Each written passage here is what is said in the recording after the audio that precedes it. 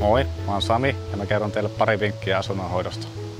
Näillä vinkkeillä hoidat asuntasi hyvin ja vältyt isommilta harmeilta.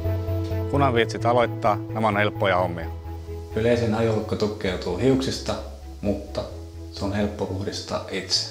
Tähän puhdistamiseen tarvittavat työvälineet, kumihanskat ja vati.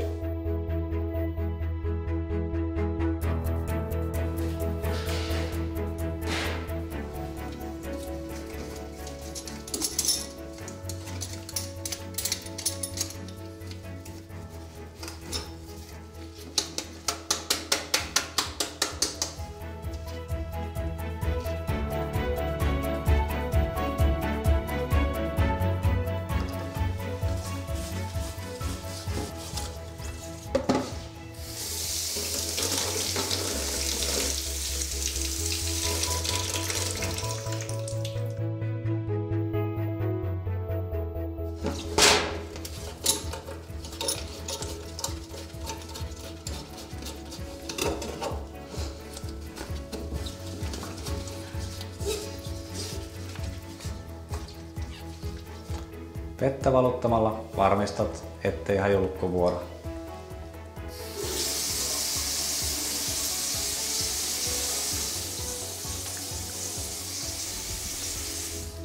Ja näin helposti tämä onnistuu.